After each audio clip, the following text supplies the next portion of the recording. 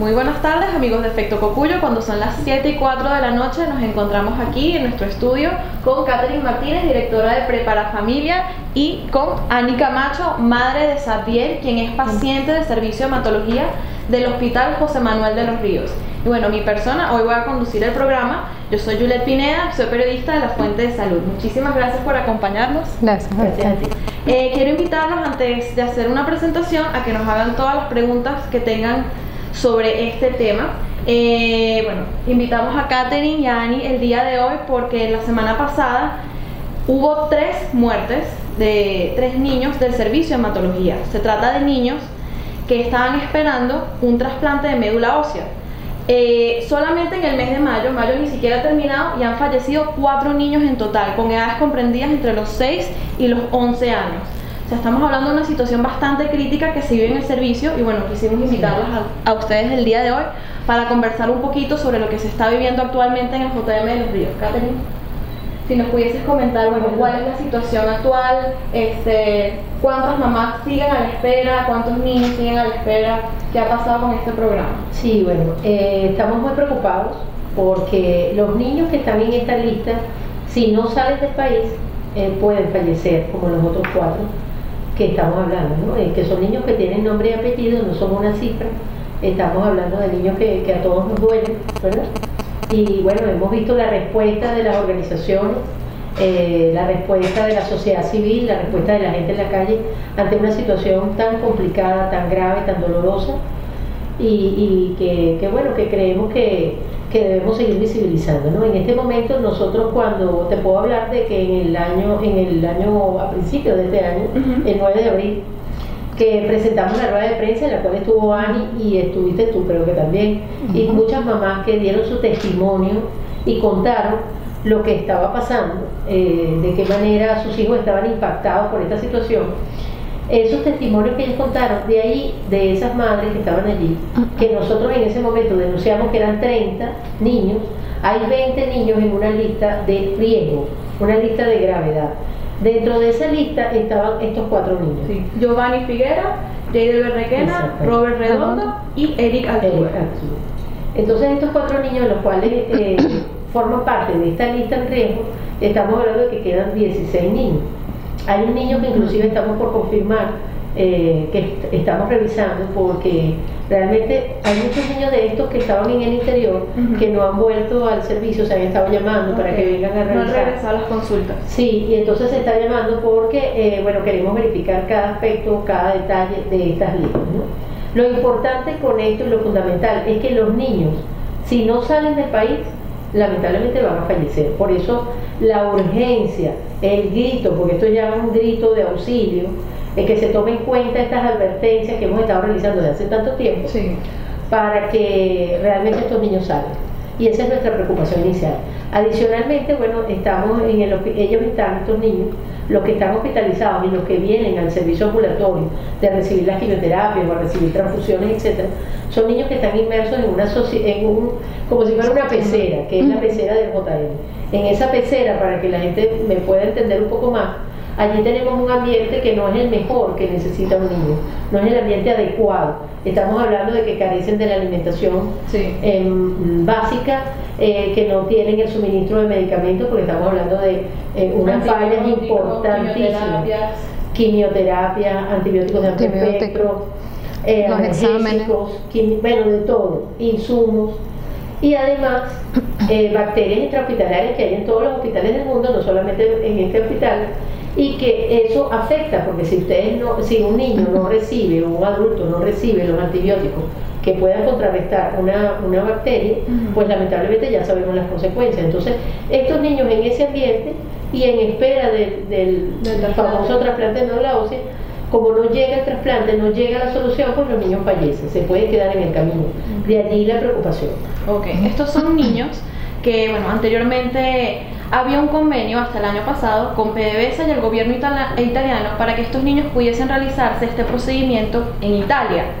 Eh, ese, procedimiento, ese convenio quedó totalmente paralizado. Eh, Jorge Arriaza, varios voceros del oficialismo dicen que es producto de las sanciones, Pero la verdad es que hay niños y hay familias que tienen esperando este trasplante desde hace mucho tiempo, o sea, desde hace mucho Tres, dos, hay de todo. Tenemos niños que tienen tres años esperando, dos años y medio. Bueno, de todo. Y las sanciones a PDVSA ocurrieron el 28 de enero de este año.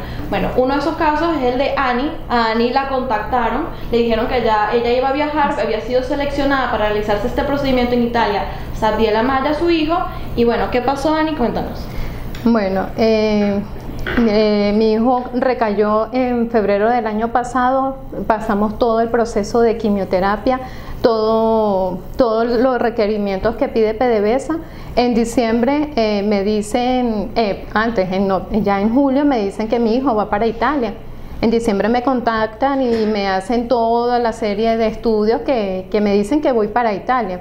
Luego, este, eh, a, a mediados de, diciembre me llaman y me dicen que, que ya no hay este, convenio con Italia, que van a tratar de enlazarme con la Simón Bolívar de Estados Unidos. la de Circo. Ajá, exacto. Entonces, en en enero, al ver que no me llamaban, llamo y me dicen que no, que todavía no han hecho eso, que tienen que ir a comité para poder mandar mi caso nuevamente a, allá a, la, a Simón Bolívar. Bueno, en la espera de eso sucedió el, lo que llaman ahorita todo esto que ha pasado con, con, con PDVSA y mi caso quedó allí.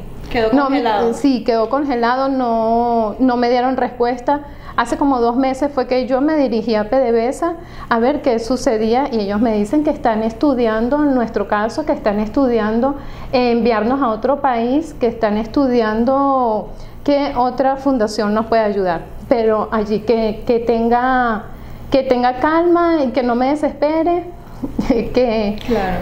que que ellos están moviéndose. Y ya ha pasado, ya va para casi un año desde la primera vez que te, que te contactaron y te dijeron que podían ir a Italia. Claro, eh, bueno, eh, ya para julio ya, ya era ya un hecho de que yo iba para, para Italia. Okay. Ya ellos me habían dicho que sí. ¿Y cuántos pacientes iban a ir en ese viaje con, contigo? Este, eran del JM iban a ir dos, hasta los momentos ya aprobados, pero ya hay había una lista de espera ya anterior a mí. En esa lista también estaba el caso de Néstor. Estaba Néstor, que Néstor era, exacto, Néstor iba a viajar en, ese mismo vuelo, en las mismas condiciones que Néstor es otro niño del JM de los Ríos que está a la espera de este trasplante de médula ósea.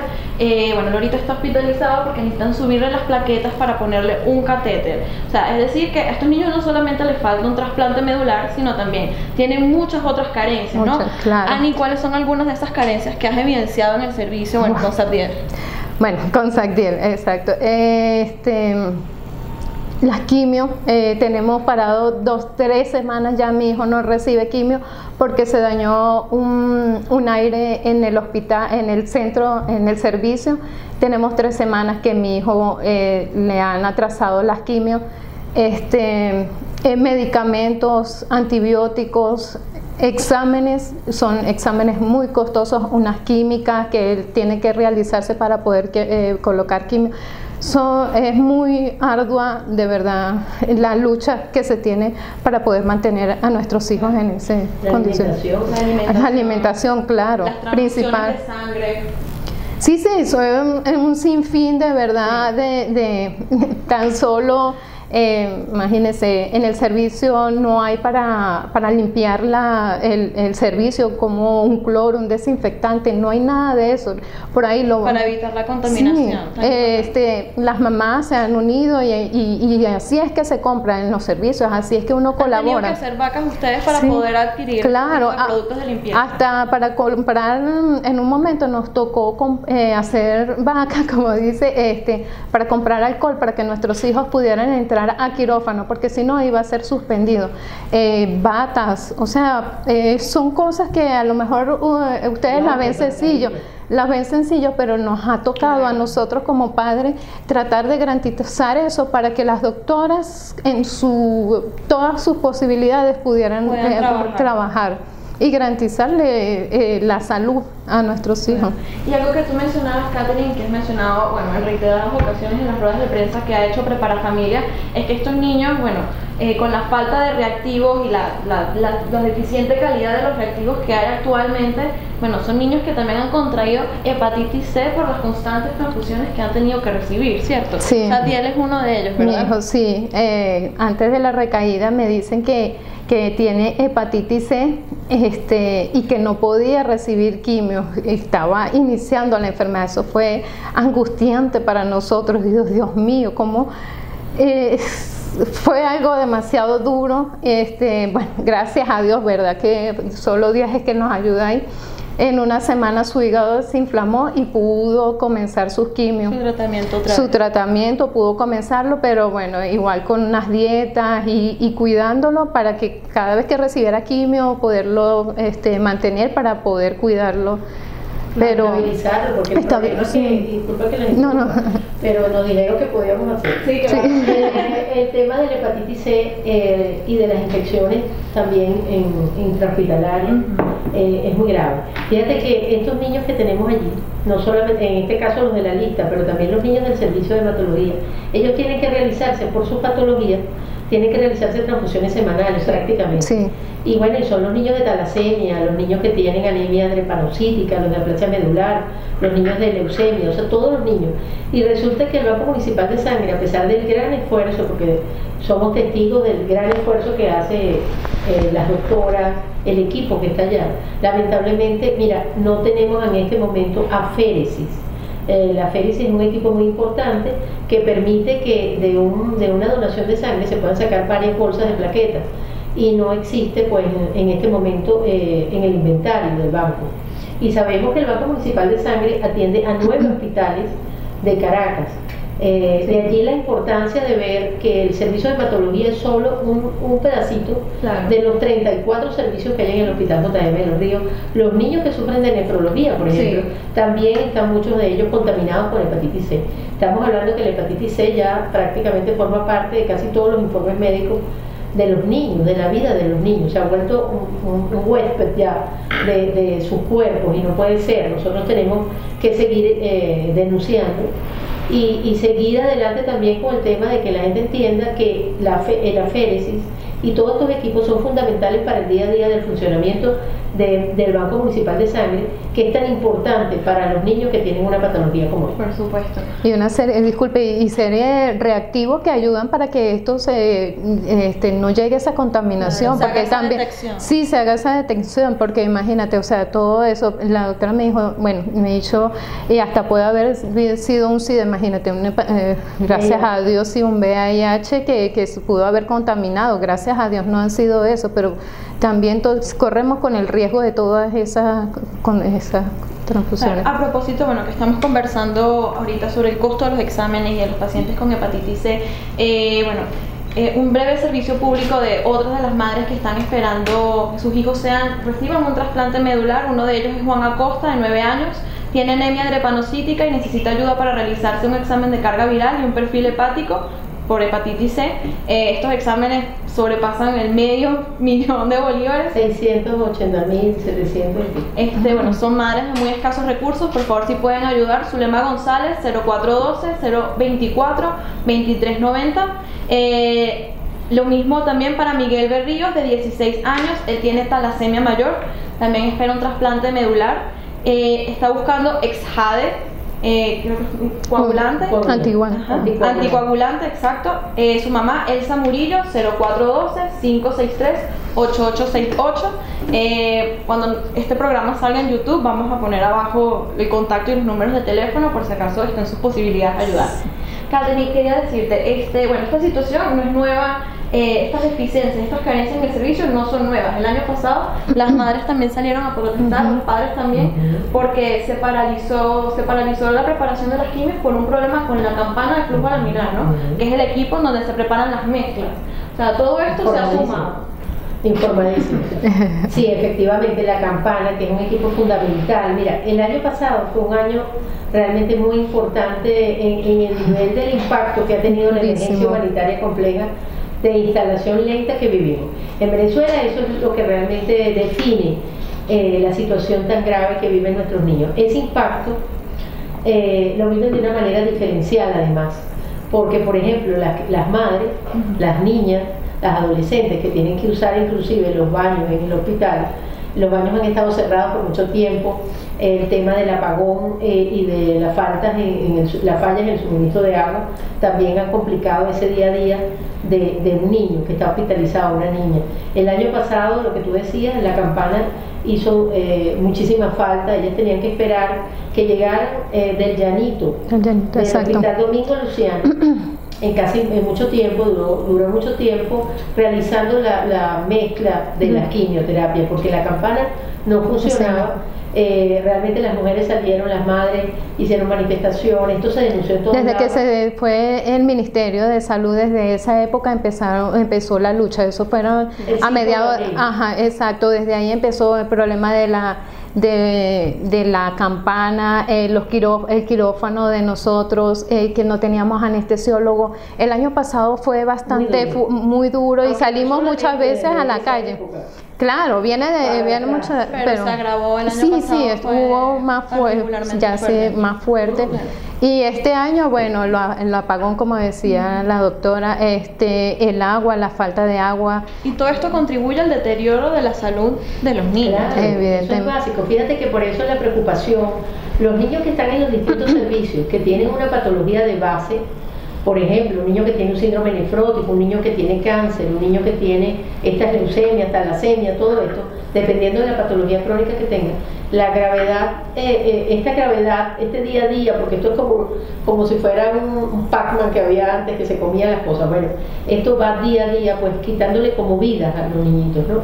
En el sentido de que le va bajando muchas de sus de, la calidad de vida pues les baja muchísimo. Un niño como esto que no tenga la alimentación de vida, que no tenga los suplementos nutricionales, que no tenga, estos niños por ejemplo que reciben quimioterapia necesitan una alimentación de calidad, una alimentación que realmente debe ser importante, debe cuidar los detalles y lamentablemente, eh, bueno imagínate, las mujeres hacen esfuerzos gigantes, ellas mismas no comen eh, bueno, porque sus familiares los ayudan, les dan alimentación, pero recordamos también la solidaridad entre las mismas madres. Gracias a Dios, como decimos, porque tenemos que agradecer porque realmente eh, ante una emergencia como esta, bueno, imagínate tú, con toda esta situación que las quimios no las tienen, los antibióticos, los insumos, tampoco los alimentos para los niños y ellas también, ellas tienen que pensar en ellas. Nosotros por eso no solamente defendemos los derechos de los niños, niñas y adolescentes, sino también eh, defendemos el de las mujeres. Las mujeres cuidadoras también hay hombres, pero en la mayoría son mujeres y nuestro trabajo es defenderlas porque realmente ellas se olvidan de ellas mismas. Como dicen las mamás somos así, no, ellas no pueden olvidarse de ellas mismas, ellas tienen derechos también y tienen que cuidarse porque si no, ¿quién va a cuidar a estos niños?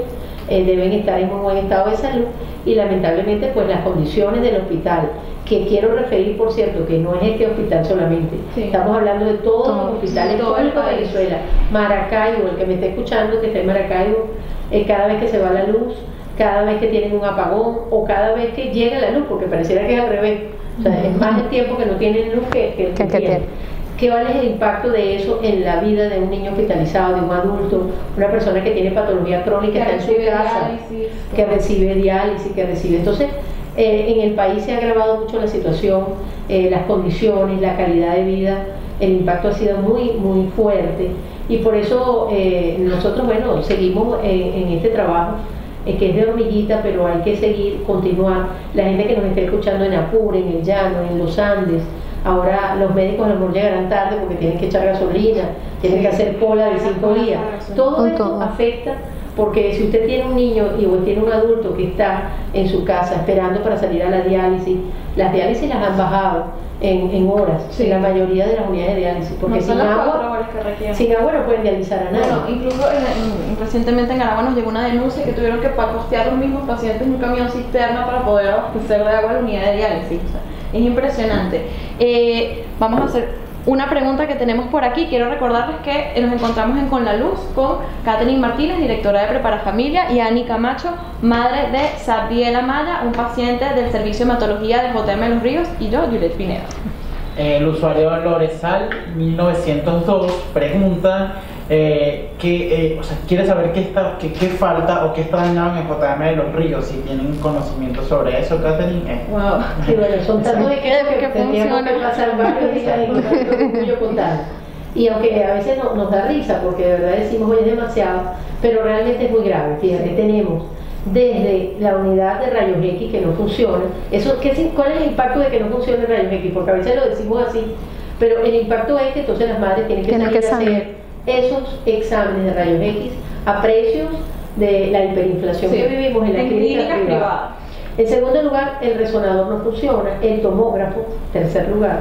Todos los equipos De no tienen, preven- eh, no tienen No hay este, diluyentes, no tenemos diluyentes en el, en el servicio de hematología.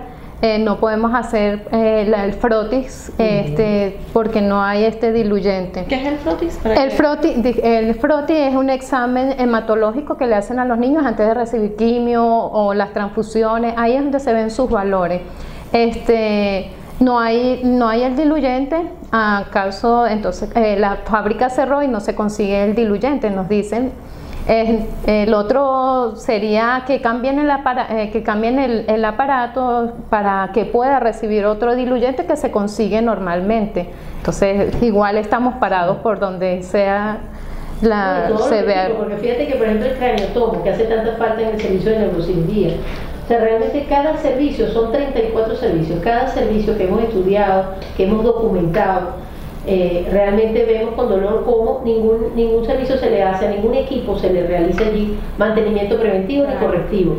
Entonces estamos en las manos de quién? Y aparte de esto, bueno, te suma también el déficit de médicos y de enfermeras que La también reduce el número de camas que hay en el hospital. Eh, creo que el, el otro día estaba conversando con el doctor Vietnam Ujú. y en una gaceta oficial salió que era algo así como un poco más de 300 camas en el, en el JM de los 320 camas había en el año 2007. y ahorita hay unas 80, 80 niños hospitalizados. Sí, entre 80 y 90 ahí se maneja.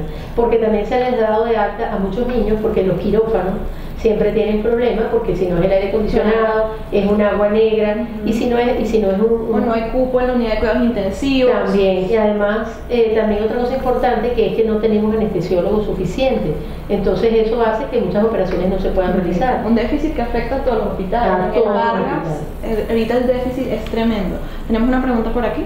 En Instagram el usuario Llanero Solitario consulta.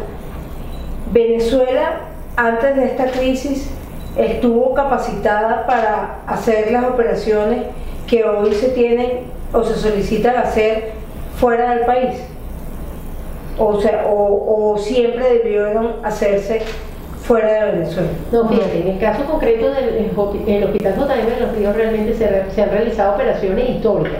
Operaciones, por ejemplo, yo no sé si alguien se acuerda de lo que nos está escuchando o nos está viendo, porque esto lo ven también. Eh, eh, estamos hablando de, de las operaciones estas donde dividieron el cerebro de dos niños que estaban unidos, de dos unos morochos. Ok. O sea, ahí han, han pasado eh, operaciones históricas a nivel de neurocirugía, que son operaciones de alto nivel, de alto calibre. referencia en toda la región. Exactamente, venía, venían pacientes de las islas del Caribe, venía gente de otros países de, de América Latina a verse en el Hospital JM, porque es un, país, es un hospital de especialidades.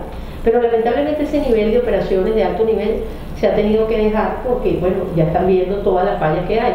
Pero en concreto, creo que lo que refiere A los también de es que este tipo de trasplantes se hacían antes aquí.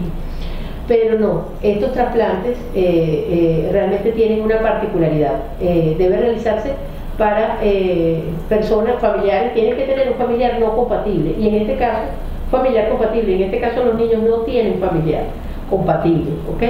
Es como un trabalengua, pero más o menos me pueden entender. Tiene que tener una compatibilidad del 100% para realizarse aquí en... sí. Eh, tiene que tener una compatibilidad del 100%, o sea, tiene que ser eh, hijo de papá y mamá para que pueda generar esto. Eh, en el caso mío, tengo, es hijo único, eh, no, tiene, no tiene hermanos, por eso es que re- tiene que salir afuera. Tienen que ir a Italia. Sí, por eso tenemos que Sí, ir a Italia. preocupación que Pero, tenemos, ajá. que se las quiero decir, compartir. Exacto. En el año, de- si desde el año 2006 el, el- el Estado venezolano estuvo enviando eh, niños afuera a Italia, ¿por qué no pensaron en profesionalizar a los médicos, preparar la unidad, extender la unidad para atender a estos niños que no tienen familiar compatible? Claro, sabiendo que Eh, existía esta demanda. Claro que existe una demanda alta y que y además lo que cuesta enviar a un niño a otro país, en este caso Italia, eh, lo que cuesta un trasplante de médula ósea en cualquier país del mundo es muy alto. Ustedes sacaron una cifra Sí. bien interesante, Sí, ¿no? Según una fuente de Fundavene, eh, bueno, un trasplante medular puede costar en Europa entre 170 mil dólares y 220 mil dólares. Y hay que sumarle a eso la estadía La- de la madre, viáticos, niño. la- O sea, es muy costoso. Entonces, por eso es que esto es un programa que realmente deberían haber, debería haberse invertido en Venezuela. Y es una pregunta que nos hacemos, o sea, ¿por qué no se invirtió? Que todos sabemos la respuesta, pero hay que seguirse haciendo. ¿Por qué no se invirtió en el país, eh, en estas unidades, porque solamente tenemos dos? ¿Por qué no se profesionalizó el personal? ¿No se invirtió en inmunosupresores? En todo lo que hacía falta para poder hacer este tipo de, de trasplantes. Y entonces ahora solamente la única solución, la única respuesta tiene que ser sacar a estos niños del país. A estas alturas del mundo no puede ser. sea, Así tenga ahorita hermanos compatibles, porque leía una noticia que en Valencia, este, para realizar esta- estos exámenes nada más cubre, ellos cubren, eh, tienen la infraestructura, infraestructura pero lo, lo que es exámenes, todo lo que arroja esto, eh, el padre tiene que, que cubrirlo, eh, lo que es la alimentación, la estadía, todo eso, los que vienen del interior, entonces es bien arduo. Decía esta fundación que ayuda a, esta, a los niños con, tra- con trasplante, que es alrededor de 10 mil dólares que necesitan para poderlos ayudar. De verdad que entonces así querramos hacerlo, no hay las condiciones para que esta, estos pacientes que tienen hermanos compatibles no se puede realizar no se aquí. puede garantizar además Sí, la- eh, sí. los inmunosupresores, que son Exacto. antirrechazo. Si ya en el país están suspendidos los trasplantes, que mañana Se cumplen dos se años. cumplen dos años El primero de la junio. suspensión del programa de procura de volumen. Entonces es una fecha importante. ¿Qué tiene que ver con el tema de trasplante de médula ósea?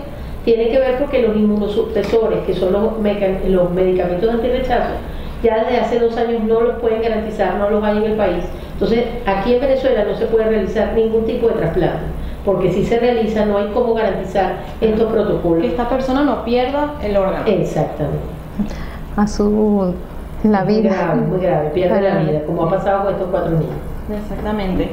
Eh, Ani, quería precisar, bueno, a estos niños eh, no solo les faltó un trasplante de médula, los que fallecieron, les faltó antibióticos, les faltó de todo.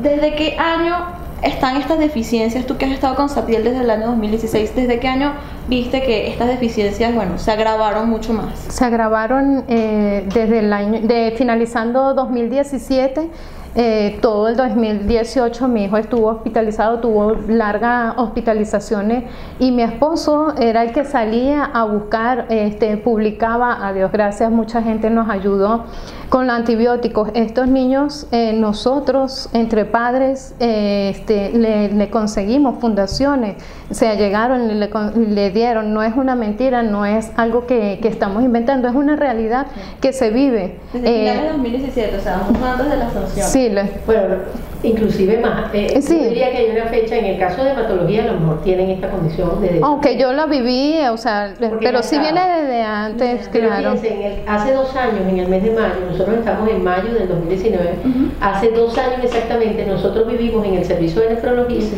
inclusive Juliet es testigo de todo lo que vivimos allí.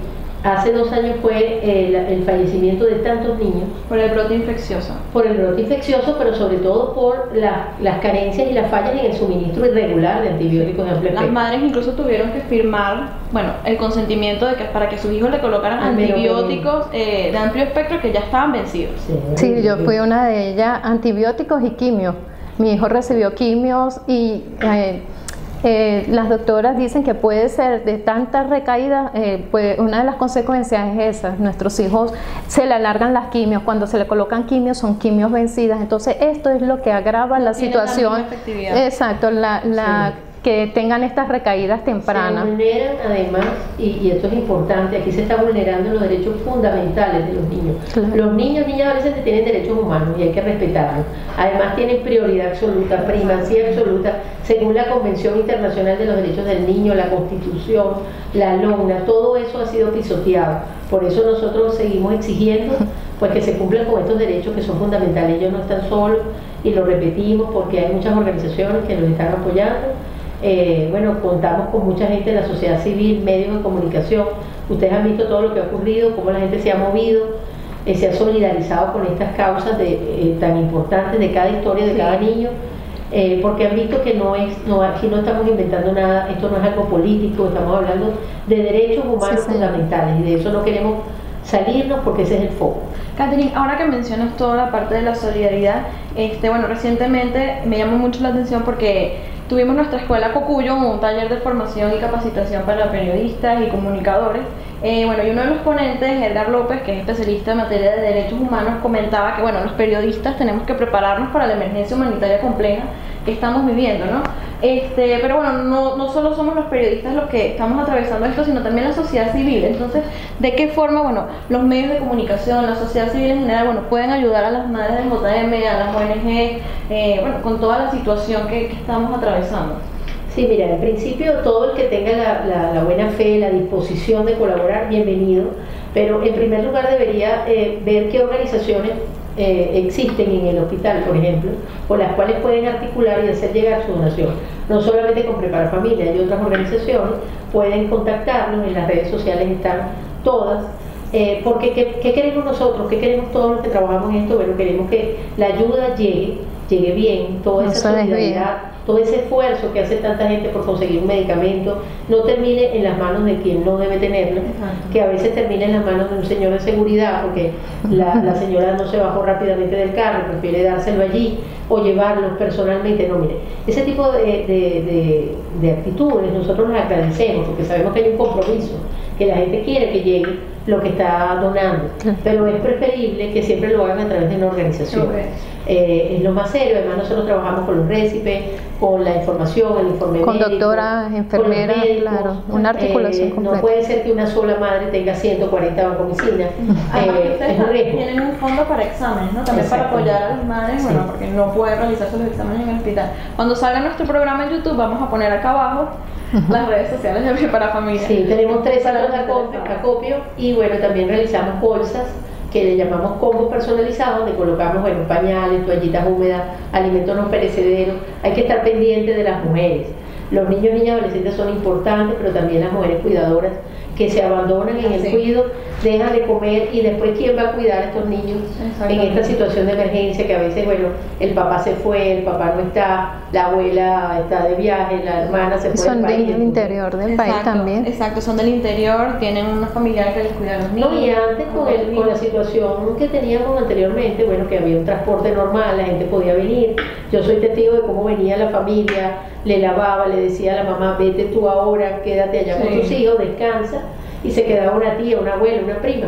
Eso ahora es imposible porque nadie puede venir del interior. El transporte no, es, no hay cómo pagarlo. Ani, ese también es tu caso, ¿verdad? Eh, sí, eh, yo soy de, de Higuerote, de Miranda, y tuve que eh, abandonar mi casa. Ahorita estoy en una casa de un familiar, una habitación que me prestaron para poder estar y garantizarle las quimios eh, temprano a mi hijo. Para el traslado era fue bien rudo, entonces desde hace un año y medio estamos allí en esa. Tenemos una pregunta por aquí. Sí, bueno, una pregunta que quiero hacerte, Catherine. Eh, tú que conoces este, muchísimo sobre el Hospital JM de los Ríos y eh, es en referencia a lo que ha ocurrido esta última semana, donde lamentablemente han muerto cuatro niños. Eh, ¿Tú tienes información sobre si el gobierno o funcionarios de Maduro quizás están, eh, no sé, eh, dialogando con, con, con la gente del hospital para garantizar la, que, que, las otras, que los otros niños que están en riesgo puedan ser llevados a, a- Italia? O sea, hay un por lo que está pasando hay un acercamiento. Bueno, mira, lo que pasó fue que después de todas estas denuncias y todo esto que salió, esta, eh, eh, todos estos fallecimientos, bueno, recibimos en el hospital, sé que estuvieron allí los viceministros de hospitales, estuvieron reunidos con las jefas de servicio, estuvieron, bueno, casi como nuevos explicando otra vez qué es lo que falta, eh, que no entendemos cómo a estas alturas eh, ya toda esa información debe estar en el Ministerio de Salud. No tienen esa Eh, no puede ser que a estas alturas vengan a preguntar, bueno, mira, ¿qué es lo que le falta al aire? ¿Cómo hacemos para arreglar tal cosa? O sea, estamos hablando de, de una, de un trabajo que ya tiene mucho tiempo. Todas las semanas o cada 15 días los jefes de servicio están enviando información al Ministerio de Salud. Entonces creo que aquí lo que hay que hacer es el trabajo de, de, seguir con la exigibilidad de derechos porque realmente no entendemos cómo el Ministerio de Salud no pueda cumplir con eh, todo lo que hace falta en el Hospital JM de los Ríos. Realmente no solamente son los medicamentos, la infraestructura, la alimentación, son demasiados, demasiados. ¿Tenemos una- dos preguntas más? Sí, una de Nieves eh, Pres pregunta, ¿y la Cruz Roja Venezolana qué? ¿Cómo? Sí, bueno, ellos están haciendo un trabajo, ya inclusive creo que estuve leyendo hoy eh, todo lo que están realizando. Nosotros estamos siempre en el Hospital JM de los Ríos y en todas las unidades hospitalarias en, en Venezuela a la espera de la cooperación internacional y de la ayuda humanitaria. Actualmente hay dos tipos de ayuda, la cooperación internacional que viene de las organizaciones internacionales que están en Venezuela, en UNICEF, de UNICEF, de la Organización Panamericana de la Salud, que es la OPS, hay muchas organizaciones que han estado llevando ayuda, que en este caso es cooperación a distintos hospitales, inclusive al Hospital JM de los Ríos, pues han llegado insumos, medicamentos, sí, también han llegado eh, medicamentos de parte de la OPS y además entrenamiento para el área de farmacia, eh, etcétera. En el caso de la ayuda humanitaria, sé que están organizando también, en lo que tú preguntabas, eh, de parte de la Cruz Roja y muy pronto seguramente nos va a llegar allá pues la ayuda. Nosotros la esperamos, como la esperamos de todas las organizaciones, de las personas que nos están escuchando, porque estamos hablando de, de una emergencia y cuando hay una emergencia todos tenemos que acti- activarnos con la solidaridad, con el apoyo. Eh, disculpe, ¿y la directiva del hospital ha dado alguna explicación? Y esa ayuda, eh, en un principio se entendía que no iba a ser suficiente para todos, sino que iba a ser una parte de el, el inicio de lo que puede ser la atención de todos los casos que se necesitan, eh, pues eh, referir para este para tratamiento. Ani, como mamá, ¿nos puedes decir si, si de parte de la directiva, bueno, han recibido alguna respuesta o les han comentado algo? No, no, de verdad que no, no, no hemos tenido ninguna ayuda de ellos. De verdad que verdad Sí, que no, para también lo que decía la amiga aquí, la pregunta, eh, realmente fíjate, eh, todos, todas las organizaciones internacionales están haciendo el esfuerzo para cooperar en Venezuela, eh, de verdad que, que sé que están haciendo muchas cosas, pero una de, de lo, más, lo más importante que tú decías es que eso no va a ser para todos, e- efectivamente es así. Hay una población vulnerable, más vulnerable que otra, dentro del mismo universo. Estamos hablando de los niños menores de dos años, eh, de las mujeres embarazadas, las mujeres lactantes. Entonces, ese es el universo para el cual va destinada la cooperación internacional y la ayuda humanitaria en la mayoría de los casos. Eh, los niños, por supuesto, que están hospitalizados, que tienen patologías crónicas, eh, es lamentable tener que hacer este tipo de prioridades, pero hay que hacerlo en, en momentos de emergencia. Nosotros tenemos que entender que vivimos una emergencia que es inédita en el mundo, porque inclusive así lo dicen las organizaciones que han venido, con las cuales nos hemos reunido, pues nos dicen que es algo especial, que, no- que muchos de ellos todavía la están comprendiendo y entendiendo de lo grave, están comprendiendo la gravedad, porque realmente lo ven en el día a día. Entonces, eh, creo que todas estas especificaciones de la vulnerabilidad, de exactamente el renglón a- de edad a la cual va dirigido, todo eso se hace porque son los niños a los cuales hay que atender con urgencia, o sea, es una prioridad. En emergencia hay que trabajar con prioridades, aunque hay este, a lo mejor alguna- algunos niños que van a tener que quedar por fuera, adolescentes, pero pienso que además con la cooperación internacional, la ayuda humanitaria, hay tanta gente de la diáspora que de verdad agradecemos en Venezuela, no deberíamos decir diáspora, venezolanos bellos, solidarios, que se comunican y ayudan tal, tanta gente que se está moviendo, estoy segura que se va a poder llegar a, a una población un poquitico más de la que se tiene contemplada. Claro, y entender también que esto no hay forma de que estos organismos internacionales suplan el rol del Estado, ni tampoco los ONG. No. O sea, de ninguna forma la Cruz Roja puede suplir la tarea que tiene el Ministerio de Salud. El o sea, Estado, no hay forma de eso. el Estado venezolano tiene que garantizar y tiene que proteger su papel, su obligación es la de proteger eh, la vida y la salud de estos niños. Entonces, por eso es fundamental que ellos cumplan con su papel. Ya nosotros, en el caso, como ya ustedes saben, eh, de las medidas cautelares que fueron otorgadas para eh, los niños y niñas del área de nefrología, no fueron cumplidas por el Estado. Sí. Y ahora nosotros tenemos ya desde, desde el mes de octubre La eh, ampliación. la ampliación que fue solicitada ante la CIDH y esperamos que realmente eh, la Comisión Interamericana evalúe en detalle todo lo que le estamos enviando. Estamos prontos a enviarles un informe muy importante con toda esta situación Una actualización. con una actualización eh, con todos los, los adjuntos, todos los informes, para que la Comisión Interamericana de Derechos Humanos pues realmente nos dé una respuesta categórica. Necesitamos una respuesta en estos casos y que realmente el servicio de hematología es uno de los primeros servicios Sí. que está allí. Y que los voceros del Estado dejen de dar excusas. Exactamente. Bueno, muchísimas gracias por acompañarnos. Estuvimos con Catherine Martínez, directora de Prepara Familia, Ani. Camacho, madre de Satiel Amaya, eh, paciente del JM de los Ríos, y bueno, Juliet Pineda. Pueden seguir toda la cobertura del JM de los Ríos a través de efectococuyo.com. Muchas gracias por acompañarnos. Gracias. Muchas gracias.